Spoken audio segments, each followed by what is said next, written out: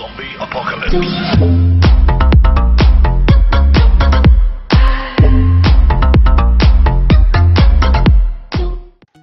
Hello guys, Big Daddy and welcome back to another episode.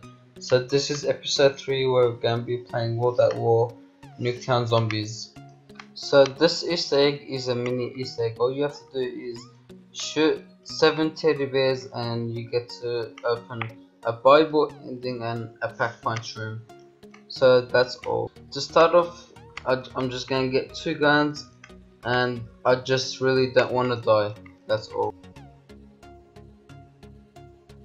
and as you guys can see the features are from Black Ops 1 and Black Ops 2 I'm talking about the guns and the map so anyway so the first bear is right under the rock it's out, he's outside the map and so those are the bears they're hidden all around the map and you you just have to go and find them but what's the point of finding them when you can just watch this video and sorry I didn't explain the mod menu opens with cancel and F to open up the menu and to go down and up is basically the mouse buttons to shoot and aim.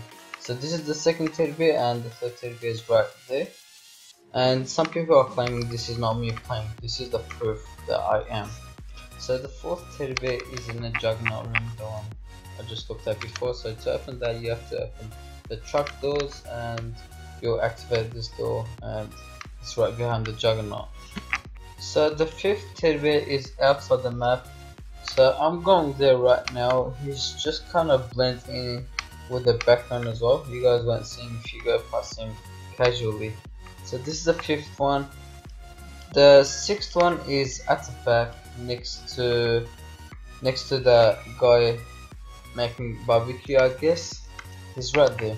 So the last bear is where I entered behind the couch as you guys can see you guys can throw a grenade or as what I did is just shoot him in the head so once you do all that you guys should open the pack function but first to know where how to open the pack punch room and how to pack punch you must open the power so the power is inside the room without opening that door it's right there so now you can pack punch by the buyable ending, do what you do best.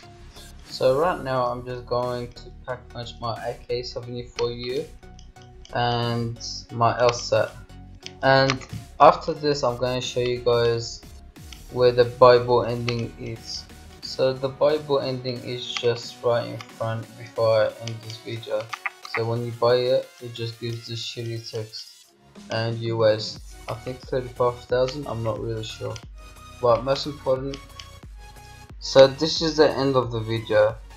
Make sure you guys follow me on twitter like my facebook page follow me on askfm and ask me questions. Comment team daddy for a shout out like this video and hit the subscribe button and turn on the notification make sure you guys are safe and make sure you guys watch this video and support me through it See you guys.